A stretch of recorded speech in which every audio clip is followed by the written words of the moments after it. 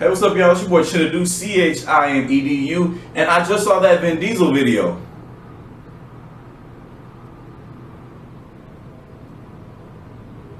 I can't hate. He's making it work. I mean, he clearly has no dancing skills whatsoever.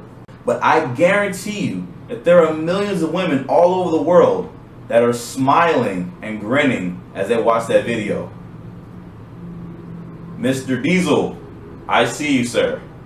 I'm not a hater, man. So that's why when I see that video and I see all the views it's gotten and all the attention it's gotten Vin Diesel, I can't even hate.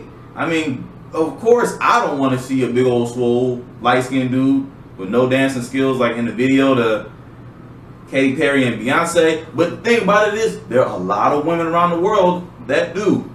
Vin Diesel's probably going to get him some uh, guest spots, probably on Ellen, you know, some good daytime talk shows, bust out a couple dance moves, bust out with some Lifetime and Disney movies. Probably, no, probably not Lifetime movies.